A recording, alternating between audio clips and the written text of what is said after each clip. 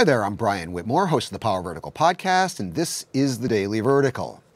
In Vladimir Putin's Russia, there are effectively two realities.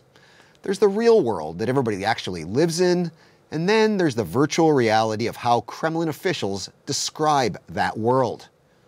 One case in point would be comments Kremlin spokesman Dmitry Peskov made this week about the recent purge of regional elites in Dagestan as part of an alleged anti corruption campaign.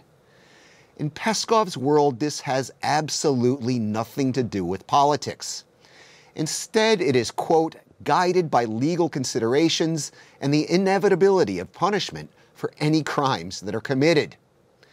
Now, shortly after Peskov spoke, opposition leader and anti corruption campaigner Alexei Navalny released a video and report targeting Deputy Prime Minister Sergei Prihodko.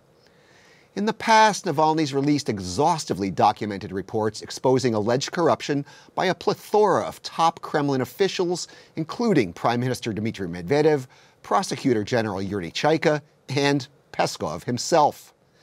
Can we expect any of these people to be investigated in a world where punishment is inevitable for any crimes that are committed?